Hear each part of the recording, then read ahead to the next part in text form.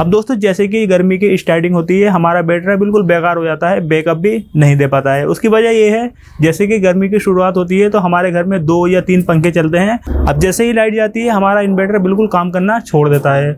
इसीलिए दोस्तों, मैं इस वीडियो को बना रहा हूँ। अगर आपके भी घर का इन्वर्टर का बैटरा बैकअप नहीं दे रहा है तो जो मैं तरीका आपको बताऊँगा, आपको उसको फॉलो करना होगा। कुछ लोगों को इसके बारे में पता भी होगा, लेकिन जिनके घर में नया इन्वर्टर लगता है, उनको इस बारे में नहीं पता होता है।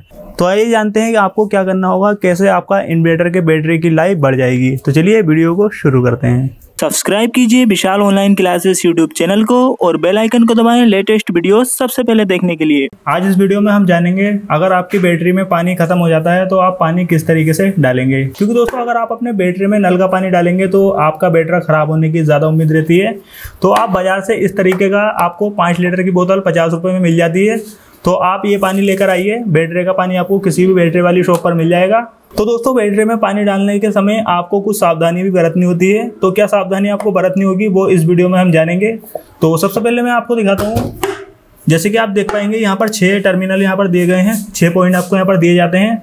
तो जैसे कि आप देखेंगे, यहाँ पर एक रेड कलर और एक ग्रीन कलर आपको दिखाई दे रहा होगा। तो ये जो ग्रीन कलर है मतलब आपका जो पानी है, यहाँ पर कंप्लीट है। इसमें पानी मतलब पूरा भरा हुआ है। ये ग्रीन होना चाहिए। दूसरे में भी यहाँ पर ग्रीन दिखाई दे रहा है। तो यहाँ पर ये ग्रीन नहीं है, यहाँ पर ये रेड है। इसका मतलब इसमें पानी डालने की ज़रूरत है। अब यहाँ पर हमारे जो चार पॉइंट है, चारों बिल्कुल सेम है, यानी कि हमें चारों पॉइंट में पानी डालने हैं। तो आप पानी कैसे डालना है, मैं आपको दिखाता हूँ। और इसी के साथ सबसे पहले आपको करना क्या होगा, जब भी आप पानी डालें, जो ये आपका इन्वर्टर का बटन होता है पावर स्विच आपको इसको सबसे पहले बंद कर देना है। तो यहाँ से सबसे पहले आपको इसको बंद कर देना है और बंद करने के बाद आपको इसका इन्वर्टर का बटन भी बंद कर देना है। तो हमने इन्वर्टर का बटन भी बंद कर रखा है। इसके बाद मैं आपको पानी डालने का तरीका सिखाता हूँ। तो जैसे कि यहाँ पर आपको पॉइंट दिए जाते हैं, आपको इसको खोलना है इस तरीके से। अब जैसे कि आप इसको खोल लेते हैं तो यहाँ पर आपको इसको इस तरीके से उल्टा करके रख देना है, क्योंकि इसमें तेजाब होता है। और इसमें पानी आप डायरेक्ट नहीं डालेंगे, क्योंकि गिरने का खतरा रहता है। इसीलिए आप इस तरीके की कोई एक बोतल काट सकते हैं। बोतल को काटने के बाद इस तरीके से हम इसमें लगाएँगे। और ये जो हमारे पास पानी है, इस पानी को हम डालेंगे।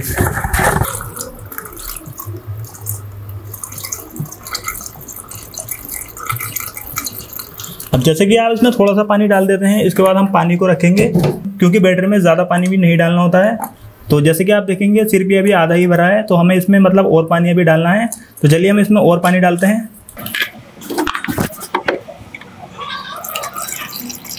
तो चलिए हम इसको लगा कर देखते हैं। तो दोस्तों, यहाँ पर हमारा जो पॉइंट है ग्रीन कलर में आ गया है, यानी कि हमें सिर्फ़ इतना ही पानी डालना है। इसी तरीके से हम इसमें चारों पॉइंट में भी आपको पानी डालकर दिखा देते हैं। तो फाइनली दोस्तों, हमने सभी पॉइंट में पानी डाल दिया है। तो इसी तरीके से आप भी घर के बेडर में पानी डाल सकते हैं। लेकिन दोस्तों, पानी डालने से पहले आपको इस बात का हमेशा ध्यान रखना होगा। आपको जो इसके अंदर तेजाब होता है, वो हाथ पे नहीं लगने देना है। हो सके तो आप ग्लव्स का यूज़ करें।